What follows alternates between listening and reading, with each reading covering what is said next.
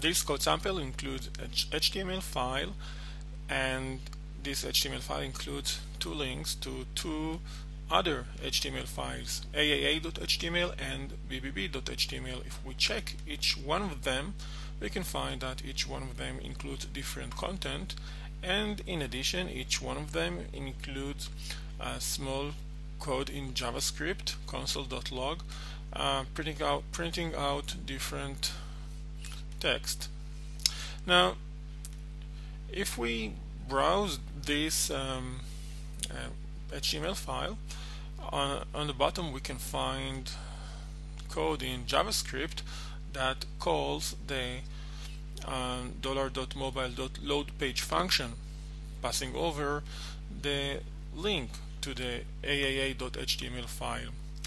Doing so will indirectly load the content of the aaa.html file. So we can expect that this code will be executed before the user press the link, the first link to the aaa.html file.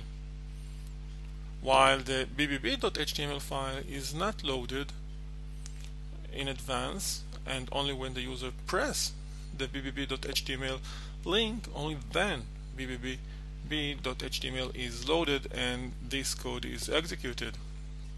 So let's give it a try and see the output.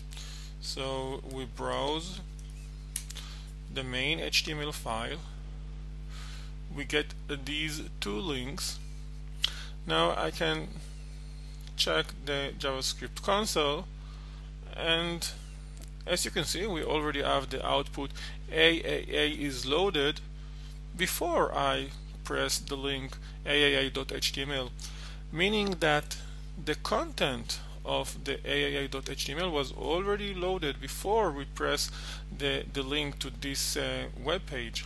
It was loaded into the DOM and when I press the link I will immediately get uh, the output of that aaa.html file.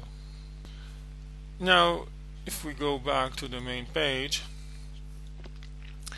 and check the console